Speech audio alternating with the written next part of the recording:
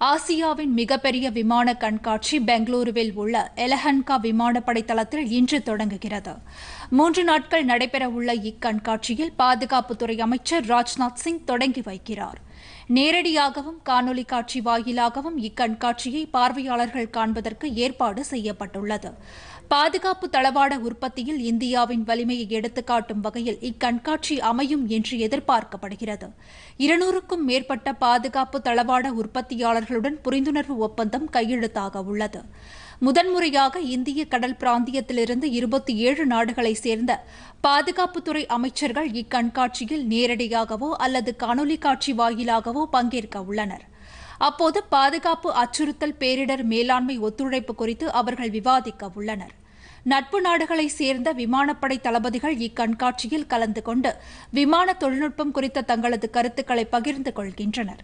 இதுகுறித்து பெங்களூருவில் செய்தியாளரிடம் பேசிய பாதுகாப்பு தளவாட உற்பத்தி துறையின் இணைச் செயலாளர் அனுராக் பாஜ்பாய் உள்நாட்டிலேயே தயாரிக்கப்பட்ட பாதுகாப்பு தளவாடங்களின் திறன்கள் குறித்து இக்கண்காட்சியில் காட்சிப்படுத்தப்படும் என்று தெரிவித்தார். கொரோனா தொற்று இல்லை என்ற சான்றிதழ் உள்ளவர்கள் மட்டுமே சுமார் பதினைந்தாயிரம் பேர் நாளொன்றுக்கு இக்கண்காட்சியில் அனுமதிக்கப்பட உள்ளதாக அவர் தெரிவித்தார். சாகச கண்காட்சியை காண்பதற்கு மூவாயிரம் பேர் மட்டுமே அனுமதிக்கப்படுவார்கள் என்றும் தெரிவிக்கப்பட்டுள்ளது.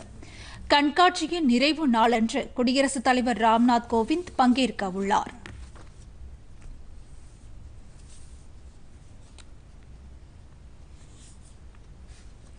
பாதுகாப்பு துறையில் இந்தியா மற்ற நாடுகளை சார்ந்திருக்க முடியாது என்று அத்துறைக்கான அமைச்சர் ராஜ்நாத் சிங் தெரிவித்துள்ளார்.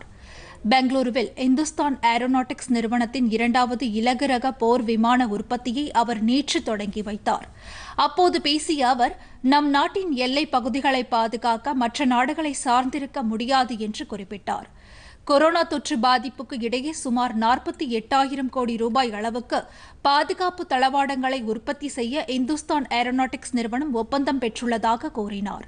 இது இந்திய விமானப்படைக்கு புதிய வலிமையை உருவாக்கும் என்று அவர் தெரிவித்தார். தேஜஸ் ரக போர் விமானத்தை கொள்முதல் செய்வதற்கு பல்வேறு நாடுகள் ஆர்வம் கொண்டுள்ளதாக குறிப்பிட்ட அமைச்சர் ராஜ்நாத் சிங். விரைவில் அந்த நாடுகளிடமிருந்து அதற்கான ஒப்பந்தத்தை ஹெச்ஏஎல் நிறுவனம் பெறும் என்று கூறினார்.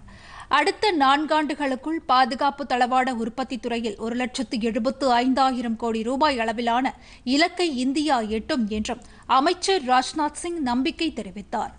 பாதுகாப்பு துறையில் மேக் இன் இண்டியா திட்டத்தின் அடிப்படையில் எண்பத்து மூன்று தேஜஸ் ரக போர் விமானங்களை கொள்முதல் செய்வதற்கு கடந்த மாதம் மத்திய அமைச்சரவை ஒப்புதல் அளித்தது.